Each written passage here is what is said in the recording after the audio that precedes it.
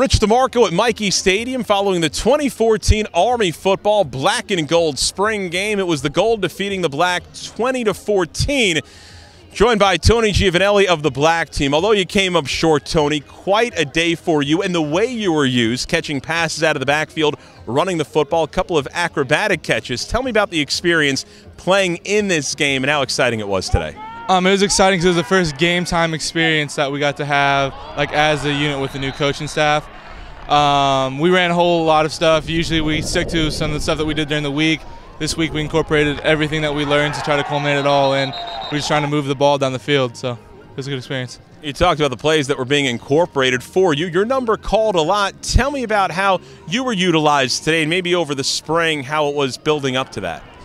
Um, well, every, every slot that we have, we believe that we can all perform the same task. So today, I think it was just luck of the draw that the plays were called my way. I mean, we call certain plays in the field in the boundary, and it just happened to be in the boundary when I was on that side. So any any of the slots could have done what I could have done today. Well, you utilized, though, a couple of nice plays, juggling one catch, tiptoeing down the sideline on a couple. How did you feel out there when you were put in those situations? Um, I felt good today. Today I studied last night, and it was the first time I felt comfortable knowing what I was doing, so it kind of let me cut loose today.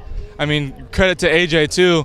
A lot of those passes were just converted from nothing, so good reads. Jeff Monken has said really the majority of the offensive installation this spring has been terminology, but what differences have you seen on maybe the things that are going to be able to be done with this offense? Saw a lot of shotgun today, maybe than we have seen in the past. Um, we spread the field a lot more than we did. Uh, we were very compact offense with the triple option. Um, we have that aspect of it with this offense, but we also have, like you said, the shotgun, or we have wide formations, trips, and stuff, and we spread the field a lot more, giving the defense more to worry about than just putting 10 in the box. And now joined by the victorious starting quarterback in the 2014 Army football spring game, and that's Matt Kaufman of the Gold Team. First off, congrats on quarterbacking this squad to victory. Thank you, sir. I appreciate it. The honorary coaches and Brigadier General Richard Clark, the Commandant. Tell me uh, your interactions with him, able to make him 1 0 now as a head coach. It's uh, it's great to play for you know, General Clark. He's a great guy, and uh, the whole entire corps looks up to him. And it's just great to you know to play for you know General Clark, and it's just great to get a victory for him. And hopefully, hopefully he's happy. How about your performance? You get out to the 17 0 lead, had that beautiful touchdown pass down the right side, an acrobatic catch made for it. Tell me about your performance. How you felt out there? I felt great. I I. I give it all to my offensive line and my receivers. And my receivers made some great catches. That ball, that touchdown pass, I, it wasn't a good ball. Uh, Peros made a great catch on it. Um, my offensive line protected me. I really had no trouble in the pocket, you know, so I was able to make you know decent throws to my receivers. My receivers made great catches. If it wasn't for them, you know, it'd be a different story.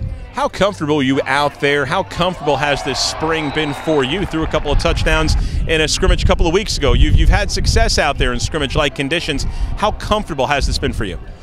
It, it's it's it's it's a process. You know, every practice, every game, you know, I get more comfortable, but it's just because of how great the coaches are and how ready they get us for these competitions and how well they explain things and how well practices run. I, you know, the, the, coaches get me, get all of us ready actually, and I think I see it. You know, all spring we've been improving, and I, I it's, it's coaching staff. I asked about General Clark a moment ago, but just tell me about the competitiveness going into a game like this. I know it's a spring game, and really the winner is Army football if everyone is out there and there's success and they're, they're, you limit the amount of injuries. But how much competitiveness was there between the teams? It was. It's always.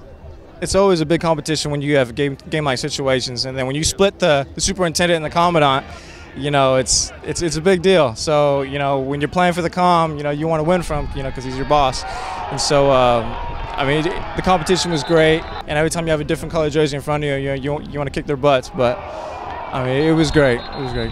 Well, Matt, you had an opportunity today, and you seized it. Congratulations on pulling out the victory for the Gold Squad. Best of luck the rest of this offseason. We'll talk to you come fall. Yes, sir. Thank you. Appreciate it. That's Matthew Kaufman, quarterback of the Gold Team here in today's 2014 Army Football Black and Gold Spring Game. It's the Gold winning it by the final of 20 to 14 making a victor out of honorary head coach, the Commandant of the United States Military Academy, Brigadier General Richard Clark. On a beautiful Saturday afternoon here at Michie Stadium, West Point, New York, at the Army Football Spring Game. For Knight Vision, I'm Rich DeMarco.